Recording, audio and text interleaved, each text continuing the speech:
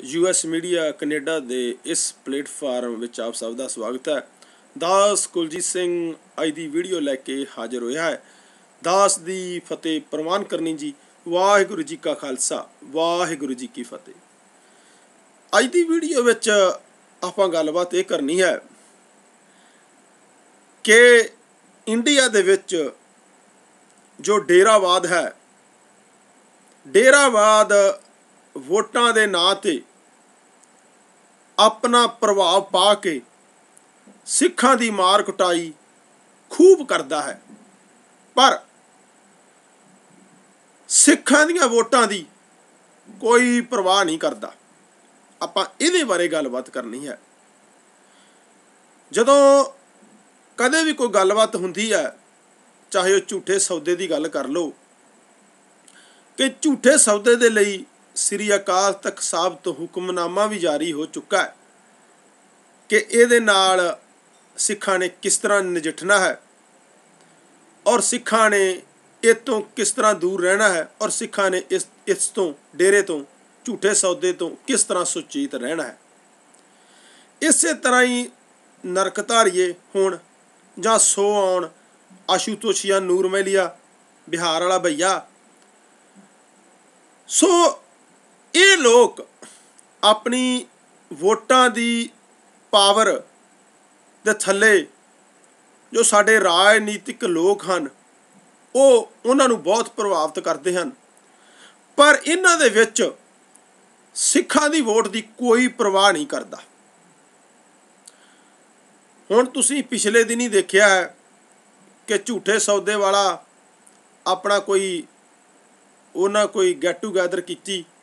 ਤੇ ਉੱਥੇ ਸਿੱਖਾਂ ਨੂੰ ਖੂਬ ਕਟਾਪਾ ਚੜਿਆ ਔਰ ਪੁਲਿਸ ਨੇ ਵੀ ਖੂਬ ਕਟਾਪਾ ਚਾੜਿਆ ਇਸ ਤੋਂ ਪਹਿਲਾਂ ਜਦੋਂ ਆਪਣੇ ਨੂਰ ਆਸ਼ੂਤੋਸ਼ੀਆ ਦਾ ਸਿੱਖਾਂ ਨੇ ਵਿਰੋਧ ਕੀਤਾ ਸੀ ਲੁਧਿਆਣੇ ਦੇ ਵਿੱਚ ਆਈ ਥਿੰਕ ਤਾਂ ਉੱਥੇ ਕਿਸ ਤਰ੍ਹਾਂ ਸਿੱਖਾਂ ਨੂੰ ਮਾਰਿਆ ਗਿਆ ਔਰ ਉਹਦੇ ਵਿੱਚ ਇੱਕ ਸਿੱਖ ਵੀ ਰੱਬ ਨੂੰ ਪਿਆਰਾ ਹੋਇਆ।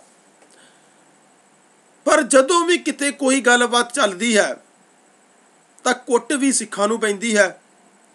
ਤੇ ਨਾਲ ਹੀ ਜਿਹੜੀ ਪੁਲਿਸ ਹੈ, ਉਹ ਵੀ ਇਹਨਾਂ ਡੇਰਿਆਂ ਵਾਲੀ ਭੁਗਤਦੀ ਹੈ। ਤੇ ਜਿਹੜੇ ਰਾਜਨੀਤਿਕ ਨੇਤਾ ਹਨ, ਉਹ ਵੀ ਇਹਨਾਂ ਡੇਰਿਆਂ ਵਾਲੀ ਭੁਗਤਦੇ ਹਨ। ਪਰ ਮੈਂ ਸਿੱਖ ਜਗਤ ਨੂੰ ਇੱਕ ਬੇਨਤੀ ਕਰਨੀ ਚਾਹੁੰਦਾ, ਇੱਕ ਕੁਐਸਚਨ ਕਰਨੇ, ਕਰਨਾ ਚਾਹੁੰਦਾ ਕਿ ਉਹ ਲੋਕ ਆਪਣੀਆਂ ਵੋਟਾਂ ਦੇ ਨਾਲ ਰਾਜਨੀਤਿਕ ਨੇਤਿਆਂ ਨੂੰ ਤੇ ਉੱਥੇ ਦੇ ਸਿਸਟਮ ਨੂੰ ਪ੍ਰਭਾਵਿਤ ਕਰਦੇ ਹਨ। ਪਰ ਸਾਡੇ ਸਿੱਖ ਵੋਟ ਕਿੱਥੇ ਹੈ? ਸਿੱਖਾਂ ਦਾ ਏਕਾ ਕਿੱਥੇ ਹੈ? ਜੇ ਉਹਨਾਂ ਦੇ ਡੇਰੇ ਗੱਲਬਾਤ ਕਰਦੇ ਹਨ ਕਿ ਇਸ ਪਾਰਟੀ ਨੂੰ ਵੋਟ ਪਾਉਣੀ ਹੈ, ਇਹ ਪਾਰਟੀ ਸਾਡੀ ਗੱਲਬਾਤ ਸੁਣੂਗੀ, ਇਹਨੂੰ ਪਾਉਣੀ ਹੈ, ਤੇ ਜਿਹੜੇ ਸਾਡੇ ਜਥੇਦਾਰ ਹਨ ਜਿਹੜੇ ਸਾਡਾ ਧੁਰਾ ਹੈ, ਸ੍ਰੀ ਅਕਾਲ ਤਖਤ ਸਾਹਿਬ, ਉਹਨਾਂ ਨੇ ਸਿੱਖ ਜਗਤ ਨੂੰ ਕੀ ਗਾਈਡਲਾਈਨ ਦਿੱਤੀ ਹੈ? ਜਾਂ ਅੱਜ ਤੱਕ ਕੀ ਗਾਈਡਲਾਈਨ ਦਿੱਤੀ ਹੈ ਔਰ ਉਹਨਾਂ ਨੇ ਕੀ ਕੀਤਾ ਹੈ? ਤੇ ਇਹਦਾ ਨਾਲ ਹੀ ਆਨਸਰ ਵੀ ਦੇ ਦਵਾਂ। ਕੁਝ ਵੀ ਨਹੀਂ ਕੀਤਾ। ਸਿਰਫ ਤੇ ਸਿਰਫ ਸਿੱਖਾਂ ਨੂੰ ਗੁੰਮਰਾਹ ਰੱਜ ਕੇ ਕੀਤਾ ਔਰ ਹੁਣ ਵੀ ਜਦੋਂ ਸਾਡਾ ਵੀਰ ਗੁਰਬਖਸ਼ ਸਿੰਘ ਖਾਲਸਾ ਭੁੱਖ ਹੜਤਾਲ ਤੇ ਬੈਠੇ ਹਨ, ਉਹਨਾਂ ਦਾ ਕਾਜ ਵੀ ਬੜਾ ਪਿਆਰਾ ਹੈ ਕਿ ਜਿਹੜੇ ਸਾਡੇ ਵੀਰ ਜੇਲ੍ਹਾਂ 'ਚ ਬੰਦ ਹਨ, ਉਹਨਾਂ ਦੀਆਂ, ਉਹਨਾਂ ਨੇ ਆਪਣੀਆਂ ਸਜ਼ਾਵਾਂ ਪੂਰੀਆਂ ਕਰ ਲਈਆਂ ਹਨ, ਉਹਨਾਂ ਨੂੰ ਰਿਹਾ ਕੀਤਾ ਜਾਵੇ। ਪਰ ਹਿੰਦੁਸਤਾਨ ਦਾ ਸਿਸਟਮ ਉਹਨਾਂ ਨੂੰ ਬਾਹਰ ਨਹੀਂ ਆਉਣ ਦਿੰਦਾ, ਉਹਨਾਂ ਦੀ ਰਿਹਾਈ ਨਹੀਂ ਹੋ ਰਹੀ। ਔਰ ਮੈਂ ਪਿੱਛੇ ਪਹਿਲਾਂ ਦੋ ਵੀਡੀਓ ਪਾ ਚੁੱਕਾ ਹਾਂ, ਇਹ ਮੇਰੀ ਤੀਜੀ ਹੈ ਗੁਰਬਖਸ਼ ਸਿੰਘ ਦੇ ਬਾਰੇ। ਦੇਖੋ ਜੀ, ਮੈਂ ਪਹਿਲਾਂ ਵੀ ਇਹ ਗੱਲ ਕਹੀ ਸੀ ਕਿ ਇਹ ਕੰਮ ਗੁਰਬਖਸ਼ ਸਿੰਘ ਦਾ ਨਹੀਂ ਸੀ। ਬੜੀ ਵਧੀਆ ਗੱਲ ਹੈ, ਉਹਨਾਂ ਨੇ ਕੀਤਾ ਵੀਰਿਆਂ ਨੇ। ਇਹ ਕੰਮ ਸਾਡੇ ਜਥੇਦਾਰਾਂ ਦਾ ਇਹ ਕੰਮ ਸਾਡੇ ਆਗੂਆਂ ਦਾ ਇਹ ਕੰਮ ਉਹ ਰਾਜਨੀਤਿਕ ਨੇਤੇ ਜਿਨ੍ਹਾਂ ਨੂੰ ਤੁਸੀਂ ਚੁਣ ਕੇ ਭੇਜਦੇ ਜੇ ਵੀ ਸਾਡੀ ਆਵਾਜ਼ ਬਣਿਓ, ਹੱਕ ਸੱਚ ਇਨਸਾਫ ਦੀ ਗੱਲ ਕਰਿਓ, ਲੋਕਾਂ ਨੂੰ ਇਨਸਾਫ ਦਿਓ ਜੇ ਇਹ ਉਹਨਾਂ ਦਾ ਕੰਮ ਸੀ। ਪਰ ਉਹ ਤਾਂ ਕੋਈ ਸੁਣ ਨਹੀਂ ਰਿਹਾ। ਹੁਣ ਦੇਖੋ ਜੀ, ਆਪਾਂ ਆਮ ਗੱਲ ਕਰਦੇ ਹਾਂ ਕਿ ਸਿੱਖਾਂ ਨੇ ਕੁਰਬਾਨੀਆਂ ਬਹੁਤ ਦਿੱਤੀਆਂ। ਬਿਲਕੁਲ, ਇਹ 'ਚ ਕੋਈ ਸ਼ੱਕ ਨਹੀਂ ਵੀ ਸਿੱਖਾਂ ਨੇ ਕੁਰਬਾਨੀਆਂ ਵਾਕਈ ਬਹੁਤ ਦਿੱਤੀਆਂ। ਪਰ ਆਪਾਂ ਵੇਖਣਾ ਆ ਝਾਖਣਾ ਆ ਵੀ ਇਹਨਾਂ ਕੁਰਬਾਨੀਆਂ ਤਾਂ ਅਸੀਂ ਸਿਰਫ ਕੁਰਬਾਨੀਆਂ ਤੱਕ ਹੀ ਸੀਮਤ ਨਾ ਰਹੀਏ। ਪਰਮਾਤਮਾ ਨੇ ਸਾਨੂੰ ਦਿਮਾਗ ਵੀ ਦਿੱਤਾ ਹੈ। ਇਹਨਾਂ, ਇਸ ਨੂੰ ਵੀ ਆਪਾਂ ਵਰਤੀਏ। ਕੁਰਬਾਨੀਆਂ ਤਾਂ 1947 ਦੇ ਵਿੱਚ ਜਦੋਂ ਇੰਡੀਆ ਯਾਦ ਹੋਇਆ, ਪਾਕਿਸਤਾਨ ਬਣ ਗਿਆ, ਬੰਗਲਾਦੇਸ਼ ਬਣ ਗਿਆ 90% ਸਿਰ ਉਦੋਂ ਦੇ ਦਿੱਤੇ ਸਿੱਖਾਂ ਨੇ। ਤੇ ਉਸ ਟਾਈਮ ਸਾਡਾ ਕੀ ਬਣ ਗਿਆ?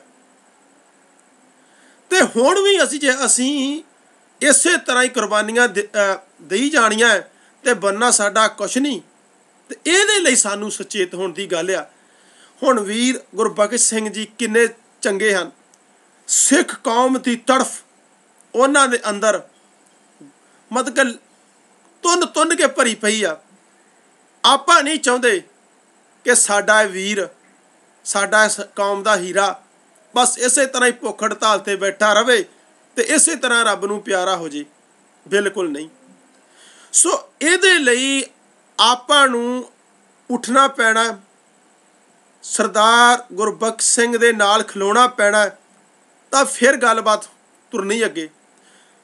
ਪਰ ਜੇ ਸਾਡੇ ਜਥੇਦਾਰਾਂ ਨੇ ਵੀ ਇਹਦੇ ਵਿੱਚ ਕੋਈ ਰੋਲ ਨਾ ਨਿਭਾਇਆ, ਤਾਂ ਆਲ ਓਵਰ ਦਾ ਵਰਲਡ ਜਿੱਥੇ ਵੀ ਸਿੱਖ ਵਸਦਾ ਹੈ ਸਾਡੇ ਇੱਥੇ ਤਰ੍ਹਾਂ ਤਰ੍ਹਾਂ ਦੇ ਪ੍ਰੋਗਰਾਮ ਹੁੰਦੇ ਆ ਤੇ ਉਹਨਾਂ ਜਥੇਦਾਰਾਂ ਨੂੰ ਅਸੀਂ ਸੱਦ ਕੇ ਉਦਘਾਟਨ ਵੀ ਕਰਾਉਣੇ ਹਨ ਤੇ ਉਹਨਾਂ ਨੂੰ ਆਪਣਾ ਮੇਨ ਗੈਸਟ ਵੀ ਬਣਾਉਣਾ ਹੈ। ਗੁਰੂ ਪਿਆਰਿਓ, ਗੱਲ ਕਿੱਧਰ ਨੂੰ ਜਾਂਦੀ ਆ? ਔਰ ਇਹਦੇ ਨਾਲ ਹੀ ਨਾਲ ਗੁਰਬਖਸ਼ ਸਿੰਘ ਦੇ ਨਾਲ ਤੁਹਾਡਾ ਕੋਈ ਅਕਾਲੀ ਨੇਤਾ ਖਲੋਤਾ ਉਹਦਾ ਕਿਨੇ ਹਾਲ ਚਾਲ ਪੁੱਛਿਆ? ਆਨਸਰ ਆ, ਨਹੀਂ। ਕੋਈ ਕਾਂਗਰਸੀ ਨੇਤਾ ਕਿਸ ਕੋਈ ਗਿਆ ਆ, ਕਿਸੇ ਨੇ ਹਾਲ ਚਾਲ ਪੁੱਛਿਆ ਆਨਸਰ ਆ ਨਹੀਂ। ਮੁੱਕਦੀ ਗੱਲ, ਕਿਸੇ ਰਾਜਨੀਤਿਕ ਨੇਤੇ ਨੇ ਉਹਦੇ ਕੋਲ ਜਾ ਕੇ ਉਹਦੀ ਗੱਲਬਾਤ ਸੁਣੀ ਆ ਆਨਸਰ ਆ ਬਿਲਕੁਲ ਨਹੀਂ। ਤੇ ਜੇ ਕੱਲ ਨੂੰ ਇਹੋ ਹੀ ਰਾਜਨੀਤਿਕ ਨੇਤੇ ਤੁਹਾਡੇ all over the world Canada, America, England, German, France ਤੁਰੇ ਫਿਰਨ, ਆਖਣ ਜੀ ਅਸੀਂ ਤਾਂ ਭਾਵੇਂ ਭਾਵੇਂ ਇਹ ਜ਼ਰੂਰੀ ਨਹੀਂ ਕਿ ਦੇ ਆਪਣਾ ਪੰਜਾਬ ਦਾ ਮੁੱਖ ਮੰਤਰੀ ਹੋਵੇ ਮੁੱਖ ਮੰਤਰੀ ਦੇ ਨਾਲ ਜਿਹੜੇ ਸੰਤਰੀ ਆ, ਉਹਨਾਂ ਦੀ ਗੱਲ। ਵੀ ਉਹਨਾਂ ਸੰਤਰੀਆਂ ਨੇ ਕੀ ਕੀਤਾ? ਉਹਨਾਂ ਮੰਤਰੀਆਂ ਨੇ ਕੀ ਕੀਤਾ? ਮੁੱਖ ਮੰਤਰੀ ਨੇ ਤਾਂ ਤੁਸੀਂ ਤਾਂ ਮੁੱਖ ਮੰਤਰੀ ਦਾ ਤਾਂ ਤੁਹਾਨੂੰ ਪਤਾ ਹੀ ਆ ਵੀ ਉਹਨੇ ਕੀ ਕਰਨਾ ਹੈ। ਸੋ ਜਦੋਂ ਉਹ ਲੋਕ ਬਾਹਰ ਆਉਂਦੇ ਆ, ਤੁਸੀਂ ਤਰ੍ਹਾਂ ਤਰ੍ਹਾਂ ਦੇ ਫੁੱਲ ਉਹਨਾਂ ਦੇ ਗਲਾਂ ਦੇ ਵਿੱਚ ਮਤਲਬ ਕਿ ਹਾਰ ਬਣਾ ਕੇ ਪਾਉਂਦੇ ਜੇ, ਉਦੋਂ ਤੁਹਾਨੂੰ ਸੋਚਣਾ ਚਾਹੀਦਾ।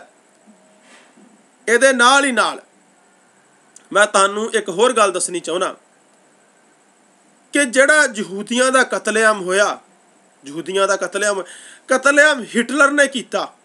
ਠੀਕ ਹੈ ਜੀ? ਹਿਟਲਰ ਉਹਨਾਂ ਦਾ ਨੇਤਾ ਸੀ, ਉਹਨੇ ਕਰਤਾ। ਪਰ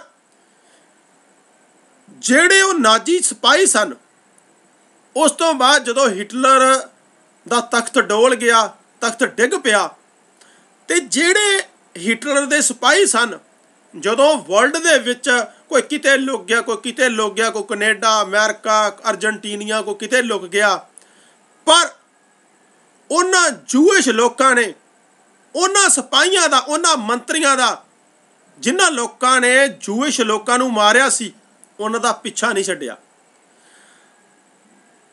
ਇਸੇ ਤਰ੍ਹਾਂ ਹੀ ਮੈਂ ਗੱਲ ਕਰਨੀ ਚਾਹੁੰਦਾ ਜ਼ਰੂਰੀ ਨਹੀਂ ਪ੍ਰਕਾਸ਼ ਸਿੰਘ ਬਾਦਲ ਮੁੱਖ ਮੰਤਰੀ ਆ ਜਾਂ ਸੁਖਵੀਰ ਬਾਦਲ, ਉਹ ਉਪ ਮੁੱਖ ਮੰਤਰੀ, ਇਹਨਾਂ ਦੋਨਾਂ ਦੀ ਗੱਲ ਨਹੀਂ।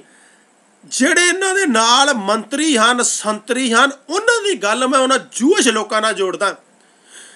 ਜਦੋਂ ਜੂਇਸ਼ ਲੋਕਾਂ ਨੂੰ ਪਤਾ ਲੱਗਾ ਕਿ ਫਲਾਣਾ ਸਿਪਾਹੀ ਜਿਹਨੇ ਸਾਡਾ ਕਤਲੇਆਮ ਕੀਤਾ, ਜਦ ਕਿ ਉਹਨੇ ਭਾਵੇਂ ਕੀਤਾ ਸੀ, ਭਾਵੇਂ ਨਹੀਂ, ਪਰ ਉਹ ਹਿਟਲਰ ਦੀ ਉਸ ਫੌਜ ਦੇ ਵਿੱਚ ਭਰਤੀ ਸੀ, ਜਿੰਨਾ ਜਿਸ ਦੇ ਵਿੱਚ ਯਹੂਦੀਆਂ ਦਾ ਵਾਧੋ ਵੱਧ ਕਤਲੇਆਮ ਹੋਇਆ। ਉਹਨਾਂ ਯਹੂਦੀਆਂ ਨੇ ਆ ਸਾਡੇ ਇੱਥੇ ਵੈਨਕੂਵਰ ਦੇ ਵਿੱਚ ਇੱਕ ਬਜ਼ੁਰਗ, ਉਹ ਹਿਟਲਰ ਦੀ ਮਤਲਬ ਕਿ ਫੌਜ ਦਾ ਸਿਪਾਹੀ, ਉਹਦੀ ਉਮਰ 96 ਸਾਲ। ਉਹਨੂੰ ਕਹਿੰਦੇ, ਉਹਨੂੰ ਪਤਾ ਲੱਗ ਗਿਆ ਵੀ ਇਹ, ਉਹ- ਇਹ ਉਹੀ ਸਿਪਾਹੀ ਆ, ਜਦੋਂ ਸਾਡਾ ਵੱਧ ਤੋਂ ਵੱਧ ਕਤਲੇਆਮ ਹੋਇਆ। ਉਹਨਾਂ ਨੇ ਇੱਥੋਂ ਫੜ ਕੇ ਉਹਨੂੰ ਲੈ ਗਏ ਜੀ। ਇੱਥੋਂ ਫੜ ਕੇ ਲੈ ਗਏ। ਔਰ ਜਾ ਕੇ ਉਹਨਾਂ ਨੇ ਉਹਨਾਂ ਤੇ ਕੇਸ ਕੀਤੇ ਔਰ ਉਹਨਾਂ ਨੂੰ ਸਜ਼ਾਵਾਂ ਦਿੱਤੀਆਂ। ਔਰ ਉਸ ਤੋਂ ਬਾਅਦ ਯਹੂਦੀਆਂ ਨੇ ਇਸੇ ਤਰ੍ਹਾਂ ਹੀ ਅਰਜنٹੀਨਾ ਦੇ ਵਿੱਚ ਇੱਕ ਬੰਦਾ ਸੀ, ਉਹਦੀ ਉਮਰ ਸੀ 90 ਸਾਲ। ਉਹਨੂੰ ਵੀ ਫੜ ਕੇ ਉਹ ਲੈ ਗਏ, ਉੱਤੇ ਕੇਸ ਚਲਾਇਆ ਔਰ ਉਹਨੂੰ ਸਜ਼ਾ ਦਿੱਤੀ। ਸੋ ਕੱਲਾ ਆਪਾਂ ਸਿਰਫ ਤੇ ਸਿਰਫ ਮੰਤਰੀ ਜਿਹੜੇ ਮੁੱਖ ਮੰਤਰੀ ਤੱਕ ਪ੍ਰਕਾਸ਼ ਸਿੰਘ ਬਾਦਲ ਤੱਕ ਗੱਲ ਸੀਮਤ ਨਾ ਰੱਖੀਏ ਜਿਹੜੇ ਉਹਨਾਂ ਦੇ ਮੰਤਰੀ ਸੰਤਰੀ ਹਰ ਮਹੀਨੇ ਇੱਥੇ ਤੁਰੇ ਫਿਰਦੇ ਆ, ਤੁਸੀਂ ਉਹਨਾਂ ਦੇ ਗਲ ਦੇ ਵਿੱਚ ਫੁੱਲਾਂ ਦੇ ਹਾਰ ਪਾਉਂਦੇ ਜੇ। ਕਦੇ ਉਹਨਾਂ ਨੂੰ ਪੁੱਛਿਓ ਕਿ ਜਦੋਂ ਗੁਰਬਖਸ਼ ਸਿੰਘ ਜੀ ਭੁੱਖ ਹੜਤਾਲ ਤੇ ਬੈਠੇ ਸਨ, ਨਾ ਤੁਹਾਡਾ ਬਿਆਨ ਆਇਆ, ਨਾ ਤੁਸੀਂ ਉਹਨਾਂ ਦੀ ਸੁੱਖ ਸਾਂਦ ਪੁੱਛੀ, ਨਾ ਉਹਨਾਂ ਨਾਲ ਗੱਲ ਕੀਤੀ, ਨਾ ਬਾਤ ਕੀਤੀ, ਇਹ ਕੀ ਸ਼ੋ ਕਰਦਾ ਹੈ? ਕੀ ਸਾਡੇ ਦੇ ਸਾਡੇ ਵਿੱਚ ਇੰਨੀ ਹਿੰਮਤ ਹੈ ਉਹਨਾਂ ਨੂੰ ਪੁੱਛਣ ਦੀ? ਤੇ ਆਹ ਰੇਡੀਓ ਵਾਲੇ ਜਿਹੜੇ ਲੋਲੀ ਲੋਲੀਪੌਪ ਤੁਹਾਨੂੰ ਬਹੁਤ ਦਿੰਦੇ ਹਨ। ਵੀ ਮਾੜੀ ਜੀ ਗੱਲ ਕਰਤੀ ਤੇ ਇਦਾਂ ਉਦਾਂ ਸਭ ਤੋਂ ਪਹਿਲਾਂ ਇਹੋ ਹੀ ਜਾ ਕੇ ਉਹਨਾਂ ਨੂੰ ਮਿੱਠੇ ਮਿੱਠੇ ਕੁਐਸਚਨ ਕਰਕੇ, ਵਧੀਆ ਵਧੀਆ ਮਤਲਬ ਕਿ ਗੱਲਾਂ ਬਾਤਾਂ ਕਰਕੇ ਰੇਡੀਓ ਤੇ ਵੀ ਲੈ ਆਉਂਦੇ ਹਨ, ਕਿਸੇ ਨਾਲ ਗੱਲ ਨਹੀਂ ਕਰਾਉਂਦੇ, ਅਖਬਾਰਾਂ 'ਚ ਵੀ ਫੋਟੋ ਲਾ ਦਿੰਦੇ ਹਨ। ਪਰ ਰੇਡੀਓ ਵਾਲੇ ਇਹ ਲੋਲੀਪੌਪ ਬਹੁਤ ਦਿੰਦੇ ਹਨ ਇਹ ਵੀ। ਇਹ ਮਤਲਬ ਇਹ ਕੋਸ਼ਿਸ਼ ਐ ਕਰਦੇ ਆ ਕਿ ਅਸੀਂ ਪਬਲਿਕ ਵੱਲੋਂ ਵੀ ਸੱਚੇ ਆ ਤੇ ਉਹ ਮੰਤਰੀਆਂ ਸੰਤਰੀਆਂ ਦੇ ਨਾਲ ਨਾਲੇ ਨਾਲ ਉਹਨਾਂ ਨਾਲ ਗੱਲਾਂ ਕਰ ਲੀਆਂ ਗੱਲਬਾਤ ਕਰ ਲਈ ਤੇ ਉਧਰੋਂ ਵੀ ਸੱਚੇ ਹੋ ਜਾਣਾ।